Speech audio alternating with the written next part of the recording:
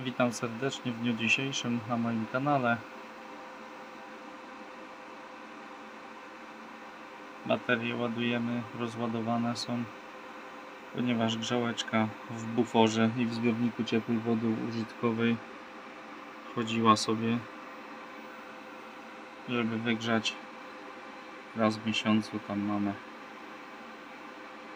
taką opcję, żeby po prostu zbiornik do wysokiej temperatury rozgrzać, żeby nie było, że są tam jakieś bakterie, tak. Woda co prawda jest używana na bieżąco, ale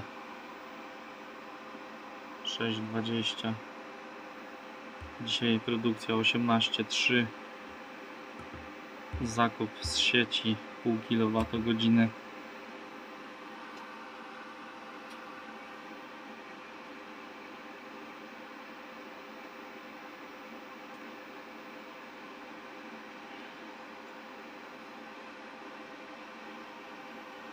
pokażę Wam e, w późniejszym czasie film od momentu, kiedy został dołożony bank energii, e, dodatkowy obwód paneli, tak, co się dzieje z produkcją, jak wygląda produkcja na przełomie miesiąca w porównaniu do tamtych miesięcy, gdzie nie było e, założonego banku energii ani obwodu paneli. Mocy brakowało. No i po prostu Będzie to widać w aplikacji SolarMan. Przedstawię to, jak to ma się teraz w stosunku do chwili obecnej, jak to wygląda.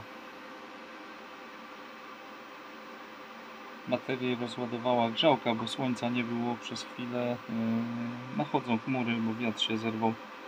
I tak raz jest, raz nie ma parę minut nie było pociągu, bo to duże obciążenie było 6 kW ponad e, na dom. Teraz tylko klima chodzi, bo grzałki się powyłączały.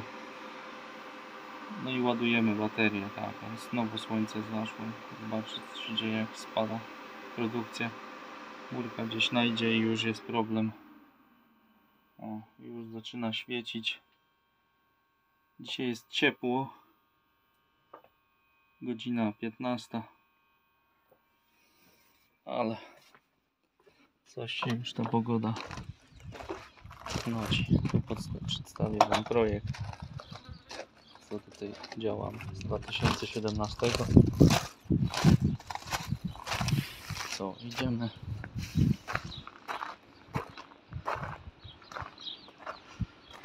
Idziemy sobie tutaj ten mobilny string, który jest odsuwany od paneli, e, od ściany. Kolce założone. Nie wiem czy to będzie widać pod słońce.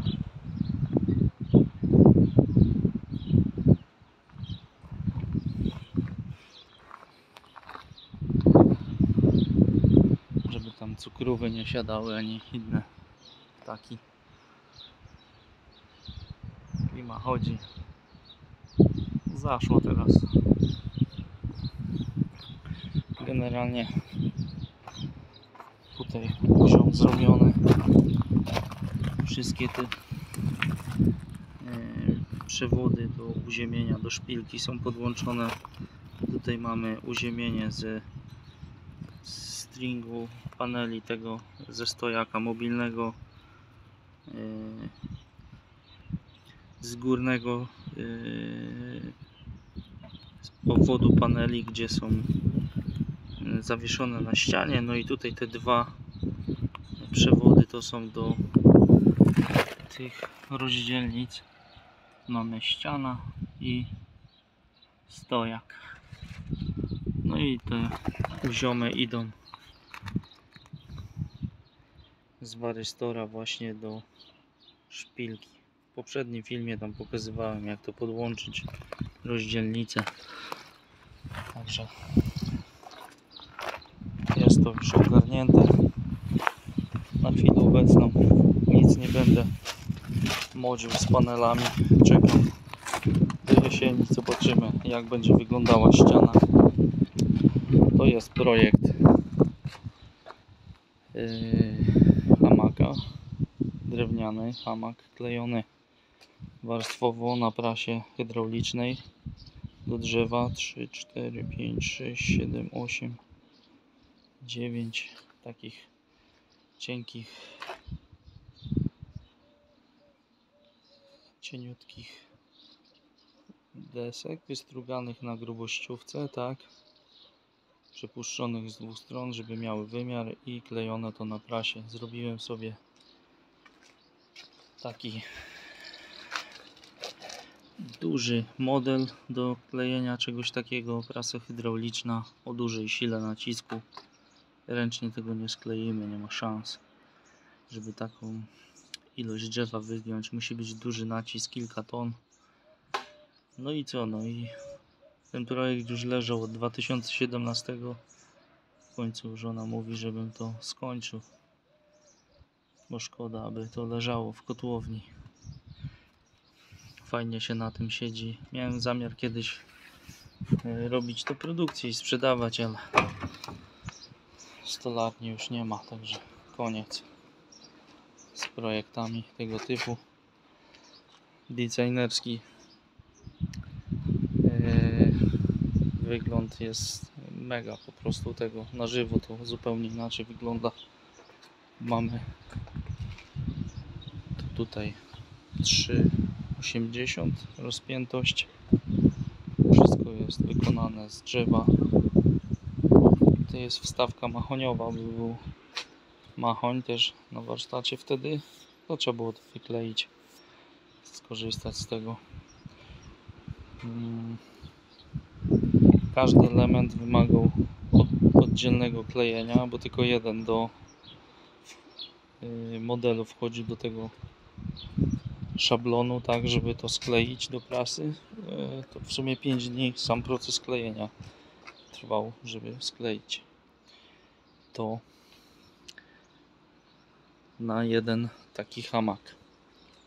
Ceny zaporowe tych hamaków były w tamtym czasie kosztował półtora tysiąca w 2017 roku gdzieś tam na zagranicznych stronach można było coś takiego kupić także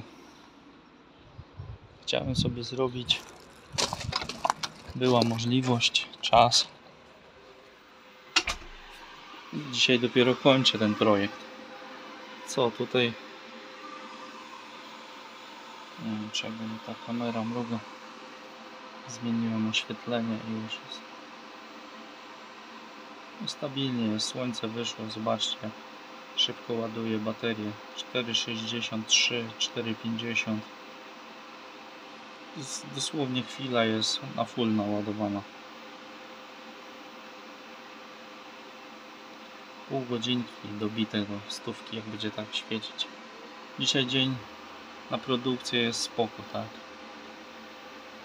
Generalnie ładna pogoda jest trochę gorąco sprawność paneli e, spada nie dają pełnej mocy no ale jest super kolejnym odcinku przedstawię jak mm, mówiłem wcześniej jak będzie to wyglądało w aplikacji Solarman kiedy jeszcze nie było dołożonego banku energii kiedy jeszcze nie było tego obwodu paneli jak to wyglądało przed i teraz w trakcie mamy już pozakładane bank energii i jeden obwód paneli. 9 4 9,5 kWp jest w panelach także jest różnica z rana od razu ta energia 10 godzina mamy 4 kW jak jest słonecznie. Pięknie. Wtedy nie było takiej możliwości bo zanim te słońce przeszło 13 yy, gdzieś tak wychodziło na wiatę. Jak już świeciło na te dwa obwody no to dopiero mogłem uzyskiwać taką moc. Teraz mam praktycznie od 9 rano no już 4 kW 3,5 idzie cały czas także jest różnica mega szkoda, że nie mogę przerzucić jeszcze trzeciego obwodu paneli na tą ścianę ale zobaczę w okresie jesiennym na pion, czy da radę zamontować chociaż 5 paneli bez odchylenia na tą ścianę pod spodem. Zobaczymy jak to będzie wyglądało jak będzie późniejsza pora, tak, słońce będzie niżej, to będziemy testować, czy da to się zrobić na tej ścianie. Ona jest duża ta ściana, ona ma 100 metrów kwadratowych, a ja nie mogę tego wykorzystać, bo jest zacienienie. W komentarzach też piszecie, że weź to yy, yy, wyprostuj tak na kąt prosty 90 stopni, żeby założyć te panele. To nie jest wcale e, dobre, bo tak jak wcześniej tłumaczyłem, ten kąt jest obliczony na podstawie iluś tam miesięcy e, zbieranych danych, tak, i regulowany był kąt pochylenia paneli. I przy takim niedużym odchyleniu 73 stopnie 2 od ściany, tak, mamy już zwiększenie sprawności instalacji do poziomu 85% i w tych granicach wychodzi w skali roku mówię.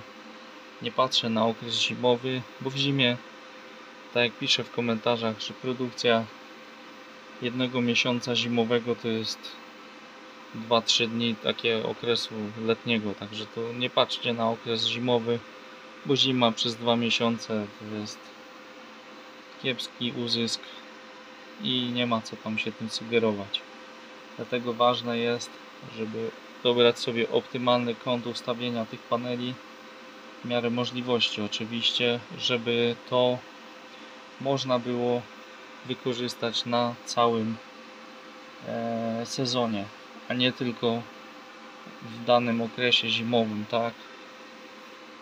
Także każdy robi jak uważa, ale to jest poparte jakimiś tam pomiarami. Ja tych pomiarów nie wykonywałem, tak? Ja sobie to odnalazłem. Bardzo długo czasu trwały te pomiary i to ja tego nie wymyśliłem, tak? To jest udokumentowane i można sobie to sprawdzić. Kąt pochylenia, pory roku, wszystko jest przeliczone. Ja wybrałem taki kąt, bo to jakbyśmy więcej odchylili od ściany, to jeszcze więcej byłoby problemu przy montażu. No nie do końca jest to dobre rozwiązanie. W okresie zimowym też by zalegał śnieg, trzeba byłoby go czyścić, ściągać. Tu chodzi właśnie też między innymi o bezobsługowość takiego wodopaneli.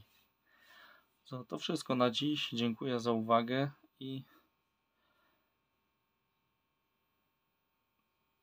widzimy się w następnym nagraniu, jak przedstawię po prostu z aplikacji te dane, które były przed montażem i po montażu banku energii i dodatkowego wodu paneli. Będzie widać tu różnicę w produkcji. Także dziękuję. To wszystko na dziś. Cześć. Pozdrawiam.